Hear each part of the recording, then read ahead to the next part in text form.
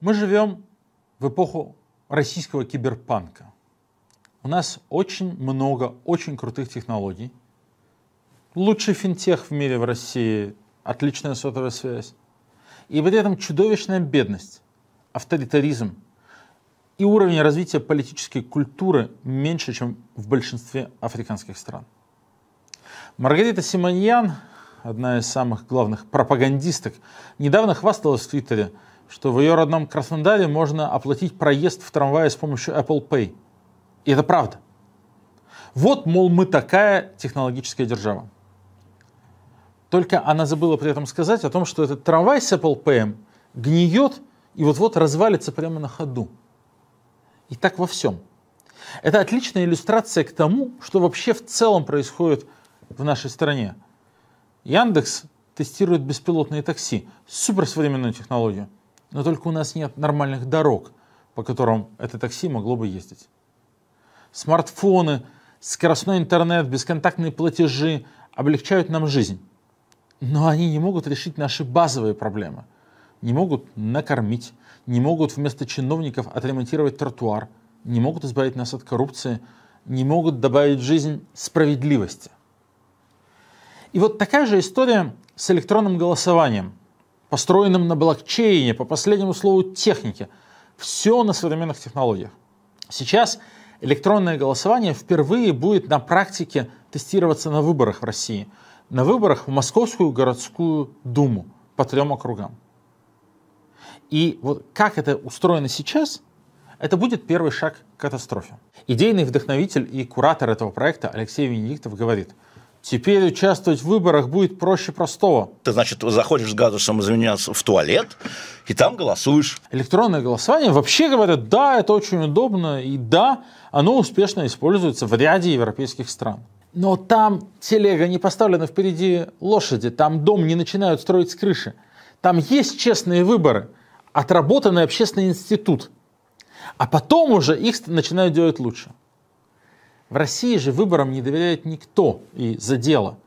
Если сделать их электронными, честнее они от этого не станут. Нельзя технологии заменить функционирование государственного института. У нас сейчас горожан, которые требуют честных выборов, бьют на улице палками какие-то люди в масках. А потом им говорят, зато вы теперь можете на смартфоне проголосовать. Нет, так не пойдет. Нам сначала нужны честные выборы – чтобы до этих выборов допускали кандидатов, чтобы были независимые суды, куда можно пожаловаться на нарушения, чтобы правила игры были одинаковые для всех, чтобы подсчет голосов проходил честно. И вот потом уже можно будет и об электронном голосовании подумать. Потом уже его вводите или не вводите. Это, кстати, уже будет не так важно. И это уже люди смогут решать, надо им это или нет. А то, как происходит сейчас, это жульничество и профанация. Достаточно только одного момента. Электронное голосование будет проходить на сайте МОСРУ, который, вот это совпадение, является официальным сайтом мэрии Москвы и мэра Москвы Сергея Семеновича Собянина. И этот главный московский единорос не просто сам позирует на этом сайте во всех ракурсах, он еще делает это вместе с кандидатами от мэрии – что они сейчас перед выборами, господи, открывают спортивные площадки, школы, детские сады, перерезают ленточки. И вот на одном и том же сайте будет сразу электронное голосование и агитация за самовыдвиженцев от мэрии, на самом деле, единороссов.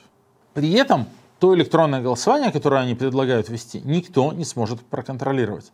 И никто из них, ни Венедиктов, никто, никто другой, даже не может объяснить публично, а как, собственно говоря, с этим голосованием будут работать наблюдатели. Они только обещают, что наблюдатели смогут удостовериться, что записанный в блокчейн голос надежно зашифрован и его невозможно никак изменить. Но этого же недостаточно. Голосовал ли человек добровольно? Не был ли голос куплен? И вообще, сам он голосовал или за него это сделал начальник? Правильно ли был голос засчитан? И даже если все голоса всех людей были правильно засчитаны, не появились ли там еще чьи-то голоса? Электронное голосование в том виде, как предлагает его Алексей Венедиктов и Департамент информационных технологий города Москвы, не может этого гарантировать. Издание «Медуза» приводит отличную аналогию. Наблюдателям предлагают только удостовериться, что ящик с бюллетенями надежно опечатан, не спрашивая, как эти бюллетени туда попали и сколько их там. Как будет выглядеть электронное голосование от мэрии Москвы уже сейчас, можно понять потому, как мэрия и Венедиктов реагируют на критику своих провалов. У них же тестирование за тестированием, все ломалось и ничего не получалось. Но самая показательная история была вот какая. Мэрия, чтобы доказать, что голосование пройдет хорошо и честно, решила как бы подразнить хакеров. Взломайте наш сайт, взломайте наше голосование, если сможете. Это вполне легитимный способ проверки защищенности информационных ресурсов. Но вот только известный французский криптограф Пирик Гадри сказал, вызов принят, и взломал шифрованное интернет-голосование от мэрии Москвы совершенно успешно, легко и быстро. Там использовались ключи на 256 бит, э, это недостаточно при современных вычислительных мощностях, и Гадри хватило 20 минут для того, чтобы расшифровать данное голосование. Алексей Венедиктов на это жутко обиделся.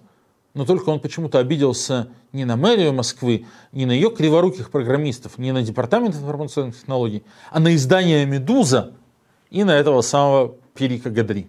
Судя по всему, Венедиктов, который выступает фронтменом, который публично защищает и продвигает электронное голосование, просто не понял, что произошло. Он просто технологию не понимает.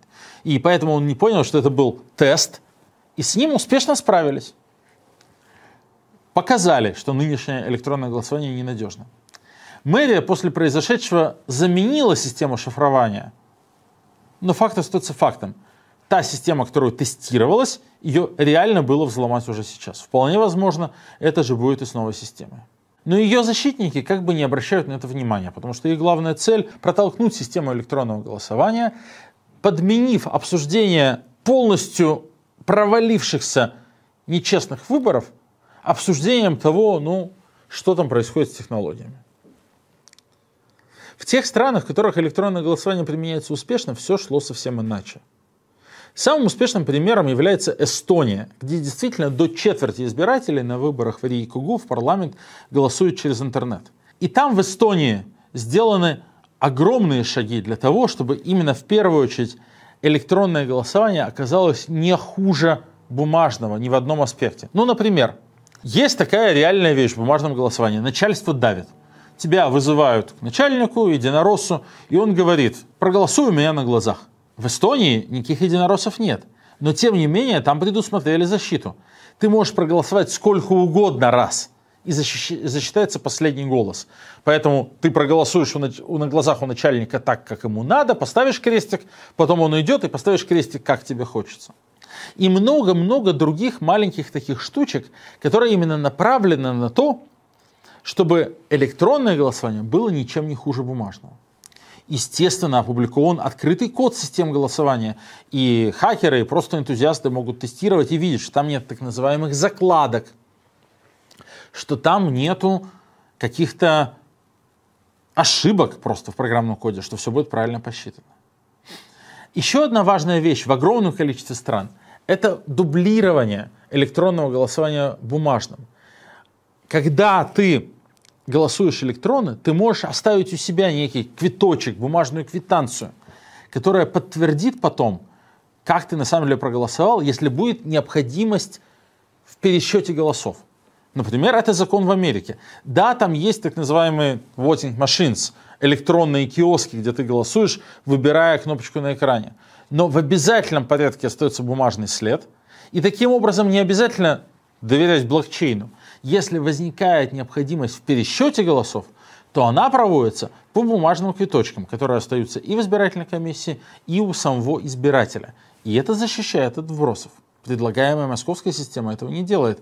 Это очень важный фактор. Например, Конституционный суд Германии еще в 2013 году постановил, что никакая система электронного голосования без бумажного дублирования не может внедряться. Не потому что электронное голосование ненадежно, надежно, но потому что пересчет и проверка должна производиться на бумажных бюллетенях, потому что только так можно сделать ее прозрачной и доступны для наблюдателей, для суда, для любых инстанций, для общества, которым нужно будет проверить, насколько голоса отданы и посчитаны правильно и корректно. То есть тут есть много тонких нюансов и наработанные, в общем-то, истории, как положительного, так и отрицательного опыта в мире за последние годы. Но мэрия Москвы И Алексей Венедиктов, и Департамент информационных технологий все это просто игнорируют. Резюмируя. Внедрение электронного голосования – это очень необходимая и важная вещь, которой, да, нужно будет заниматься. Но, как говорится, дорого ложка к обеду. Мэрия пытается сейчас выбрать цвет крыши, в то время как у них дом горит. Без честных выборов, да, без вот этих вот скучных выборов, где бумажки засовывают в ящики, а потом считают у всех на виду, без отработки технологий честных выборов, без того, чтобы мы их провели хотя бы три раза подряд, не меняя правил игры по одним и тем же правилам. Без этого не может быть никакого интернет-голосования, когда у нас правила переписываются на ходу, а доверия к выборам нет. Поэтому мы сейчас говорим об этой проблеме. Понимаете, вот этот эксперимент, пилотный проект на выборах в Мосгордуму, это для них только первый шаг. Если мы сейчас не будем об этом говорить, то к выборам в Госдуму через два года мы придем к тому, что вообще никаких наблюдателей уже готовить будет не нужно. Им незачем будет наблюдать. Кто-то где-то нажмет на какие-то кнопки, и результат будет просто объявлен. Жулики из ЦИКа смогут фальсифицировать выборы, не вставая из-за компьютера и никто не сможет показать переписанный протокол или видеозапись вброса бюллетеней, потому что не будет никаких бюллетеней. Элла Памфилова у себя в кабинете проценты будет печатать. Нужно делать все, чтобы этого не допустить. Ну а пока у нас есть еще шанс контролировать честность выборов, пока венедиктовское жульничество не распространилось как раковая опухоль по всей Москве, регистрируйтесь наблюдателями в Москве и Петербурге. Переходите на сайт умного голосования – Наблюдайте и голосуйте умно. Вместе мы сможем выгнать единороссов из каждого региона, победить их, вернуть себе честные выборы, а потом уже делать их современными и электронными.